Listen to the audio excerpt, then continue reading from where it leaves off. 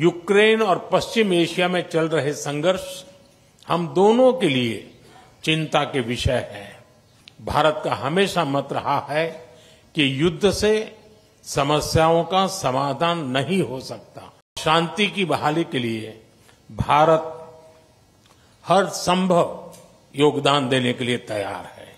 साथियों, रक्षा और सुरक्षा क्षेत्रों में बढ़ता सहयोग हमारे गहरे आपसी विश्वास का प्रतीक है। क्लासिफाइड इंफॉर्मेशन के एक्सचेंज पर बनी सहमति इस दिशा में एक नया कदम है।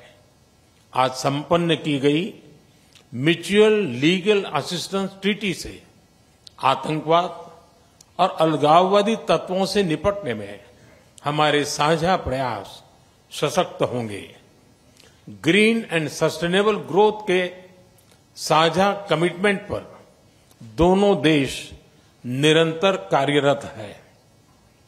आज हमारी ग्रीन और सस्टेनेबल डेवलपमेंट पार्टनरशिप को आगे बढ़ाते हुए हमने ग्रीन अर्बन मोबिलिटी पार्टनरशिप के दूसरे चरण पर सहमति बनाई है और ग्रीन हाइड्रोजन रोड मैप भी लॉन्च किया है।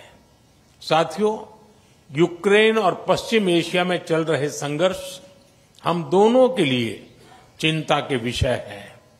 भारत का हमेशा मत रहा है कि युद्ध से समस्याओं का समाधान नहीं हो सकता और शांति की बहाली के लिए भारत हर संभव योगदान देने के लिए तैयार है।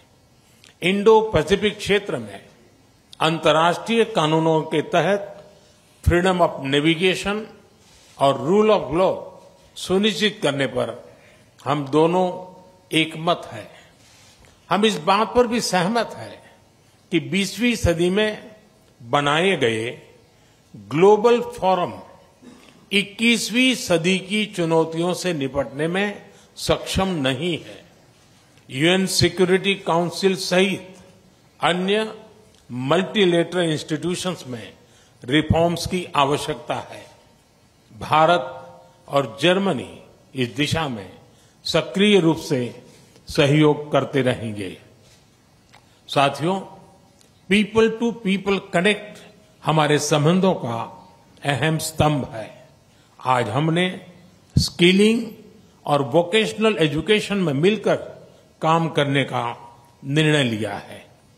आईआईटी चेन्नई और ड्रेस डेन विश्वविद्यालय में भी समझौता संपन्न हुआ है, जिससे हमारे स्टूडेंट्स ड्यूअल डिग्री का लाभ उठा पाएँगे। जी न्यूज़